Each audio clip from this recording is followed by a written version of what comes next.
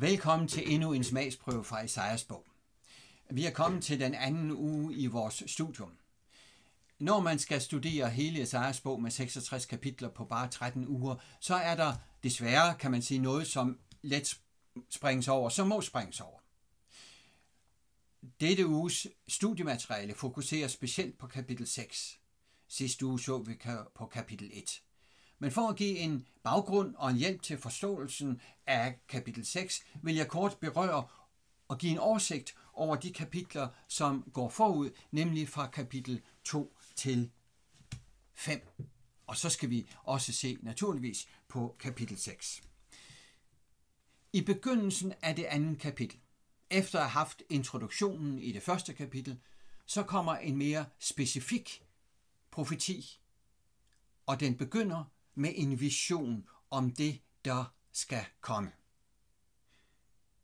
At det er noget nyt, og at første kapitel er en selvstændig indledning, det fremgår blandt andet af det faktum, at kapitel 2 her indledes med en formel tidsangivelse, det ord som om Juda og Jerusalem, som Esajas Amos' søn modtog i et syn.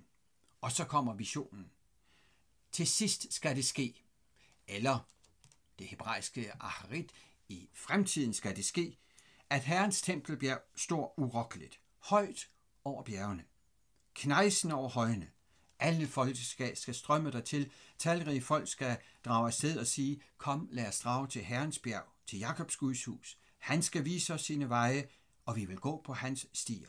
For belæringen, Torah, instruktion, undervisning, udgår fra Sion og Herrens ord fra Jerusalem.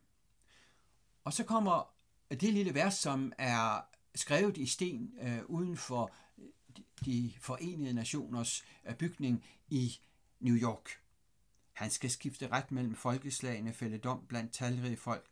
De skal smide deres svær om til plovjern og deres spyd til vingårds knive. Folk skal ikke løfte svær mod folk, og de skal ikke mere oplæres til krig. Det er visionen om fred som udgår fra Jerusalem, fordi herfra bliver der undervist i det, som Gud har givet og sagt, og folk, alle nationer vil strømme der til. Det tema kommer vi tilbage til i Esajas bog. Det indrammer bogen. Vi, dukker, vi ser det igen specielt i kapitel 60. Alle folk vil strømme dertil. Jerusalem bliver udgangspunktet. Det var visionen men som altid hos Esajas og profeterne, så vender vi tilbage til virkeligheden. Og husk, Esajas er som en symfoni, temaerne tages op og udvikles, og der lægges mere til efterhånden, som tiden går, nøjagtigt som Beethovens 9. symfoni for eksempel. For så kommer virkeligheden. Og den virkelighed er beskrevet øh, fra kapitel øh, 2, vers 6. Det er dommen der fortælles. Det er dommen over alle dem, som mener, at de er noget. Alle, som hæver sig selv op, de vil blive styrtet ned. Læg mærke til vers 9. Mennesket skal bøjes, og manden ydmyges. Det gentages. Vers 11. Menneskets stolte blik skal ydmyges. Menneskets hovmod skal bøjes. Herren alene er ophøjt på den dag. For herskars herre har en dag mod alt stolt og hovmodigt, mod alt knejsende, så det ydmyges, mod alle Libanons sæder, de høje og knejsende. Alt, hvad der er højt, alt, hvad der er stolt, vil blive vendt om, sænket, nedgjort, ydmygt. Gud alene vil være høj på den dag. Læg mærke til temaet høj og lav. Det skal ske de sidste dage, at Herrens huses bjerg skal løfte sig op og blive højere end alle de andre bjerge, hvor man dyrkede forskellige afguder. Dette er en henvisning til dommen, med beskrivelser, som man lidt kan genfinde i åbenbaringsbogs beskrivelse af, hvad der sker under den 6. brydning af det 6. sejl kan fra kapitel 3 bliver dommen så præciseret for bestemte grupper. Der er en dom over folkets ledere, Der er en dom fra vers 16 over overklassens kvinder, men der er også håb. Og denne øh, beskrivelse af dommen, som begynder i kapitel 2, vers 6, den når et klimaks og har en positiv udgang i kapitel 4, som på grund af versinddelingen begynder ved vers 2. På den dag bliver Herrens spire til herlighed og ære. Og udtrykket Herrens spire vil senere blive brugt om Messias, om kongen. Og landets frugt bliver til stolthed og pryd for Israels overlevende. De der til rest i Sion, de der er, bliver tilbage i Jerusalem, skal kaldes hellige. Så her har vi igen det motiv med, med en rest, en levning, der holder fast ved Gud, eller som omvendes i krise. De skal kaldes hellige, så temaet om hellighed er der. Alle i Jerusalem, der er indskrevet til livet, og det er tanken om livets bog, en tempelbog, hvor alle de, som hører til Gud, er indskrevet. Og så kommer en, en, en vending, som viser hen til det, der foregår i templets ceremonier. Når Herren har vasket urenheden af Sions døtre, har skyllet blodet ud af Jerusalem med doms og udrensningens ånd, altså det, der kaldes forsoningsdag eller dommensdag, så skaber Herren over hele Sions bjerg og over festforsamlingen der en sky om dagen, og en rygende og flammende ild om natten, for overalt herligt skal der være et dæk. Der skal være en hytte, som kan skygge mod heden om dagen og give ly og læg mod skybrud og regn. Her har du forsonings- eller domsdagen, der efterfølges af løvhyttefesten, hvor man bor i hytter, hvor Gud, ligesom i ørkenen, beskytter en i ørkenvandringen.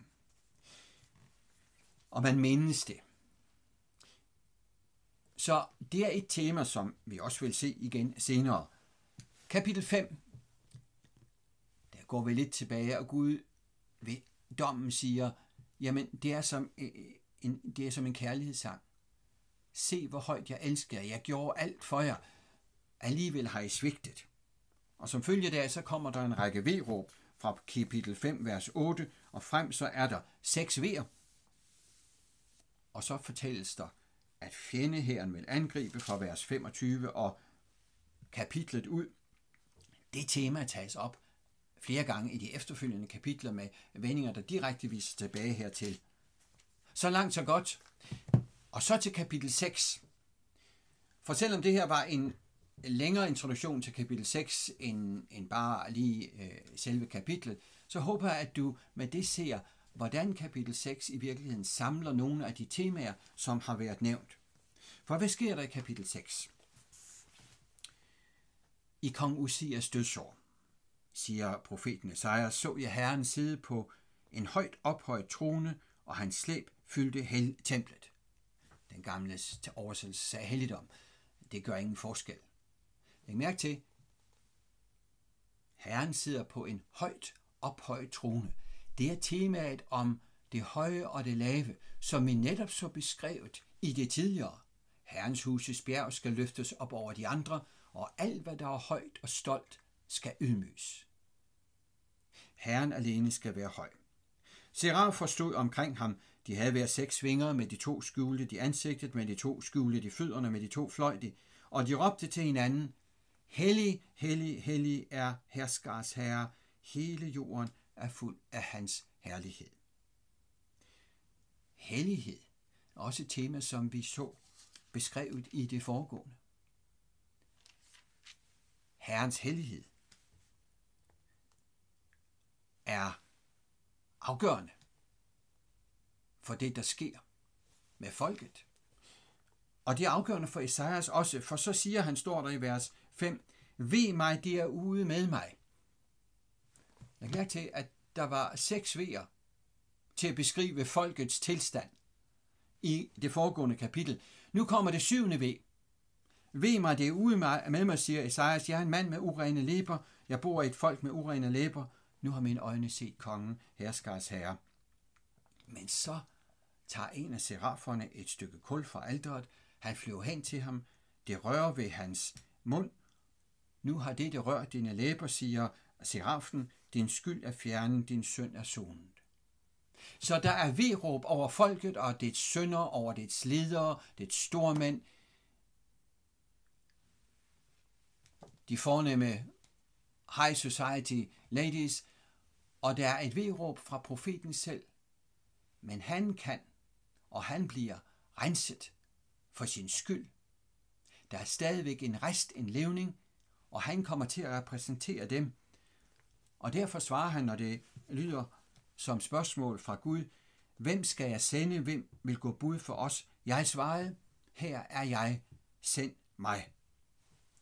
Lad mig så i parentes sige, at hvis du går ind på webkirke.dk Sejers, Esajas, så vil du blandt andet der kunne finde en række eksempler på sange og salmer, der er inspireret af tekster fra Esajas bog. Blandt andet en henvisning til en moderne sang, som er inspireret af, af lige netop dette vers. Jesus, her er jeg, send mig. Gå ind og tjek og læs og find nogle af disse sange, som du kan nyde at lytte til og synge. Esajas kommer til at repræsentere med dette sidste vedråb, dem som bliver tilbage, som kan renses, resten levningen. Og det er netop dette tema om en noget, der er til over, som man kan bygge videre på, der slutter dette kapitel. Esajas spørger i vers 11 Herren, hvor længe? Og han får svaret, indtil byerne ligger øde osv. Herren vil fjerne menneskene, landet bliver øde og forladt. Og er der endnu en tiende del tilbage, skal også den udryddes. Som når en binte eller en e bliver fældet, og der bliver en stup tilbage. Og så kommer det. Den stup er hellig sæd. Der vil være noget tilbage i al den trængsel, som kommer over Israel i de, eller Judas rige i de uh, begivenheder, som følger efter, så vil der blive en hellig sæd tilbage, en stup, som Gud kan bygge videre på. Og den vender Esajas tilbage til senere, når han begynder at tale mere præcist om Messias. Vi er midt i Esajas bog. Jeg håber, det giver dig nogle tanker til inspiration, til øh, forberedelse af studiet eventuelt. Læg mærke til de temaer, som fra de tidligere kapitler tages op her i kapitel 6. Tanken om, at Gud alene er høj, og alt andet skal ydmyges, alt, alle der forsøger at være store, bliver små. Temaet om Guds hellighed hvor du og jeg har brug for renselse, hvis vi skal leve med denne Gud. Tanken om, at der netop vil være nogen, der bliver renset, som bliver til overs, som bliver levnet, som bliver beskyttet i trængselen, der kommer. Det er temaer, som vi ser videre i, i uh, Esajas bog, og jeg håber, du vil glæde dig over det studium, som vi er i gang med. Send dine spørgsmål, hvis du har nogen til webkirke.dk Esajas, og vi vil gøre vores bedste for løbende at besvare dem. Tak skal I have for at lytte med.